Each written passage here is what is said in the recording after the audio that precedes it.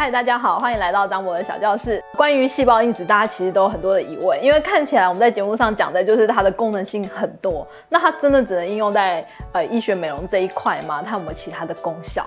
那其实最近细胞因子呢有几篇文献发表，让张博觉得非常的 exciting。为什么呢？因为他提出了呃干细胞所分泌的细胞因子呢，它居然可以帮助减肥耶。这个研究是这样子，就是他们在一群运动员的身上呢，在他大量运动之后呢，发觉在他的肌肉分泌出一个因子叫做 IL6，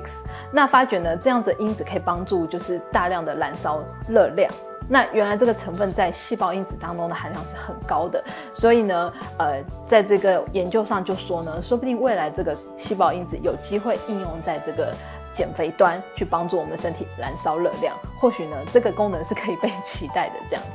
那当然啦，除了医学美容端、燃烧热量端，细胞因子呢，其实在呃这一波的这个武汉肺炎当中呢，也有做这个治疗的应用，发现就是说它可以去减缓一些肺纤维化的现象。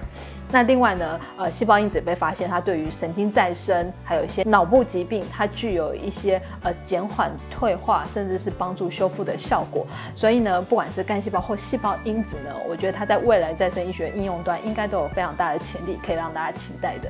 那今天张博小教室就到此为止，谢谢大家。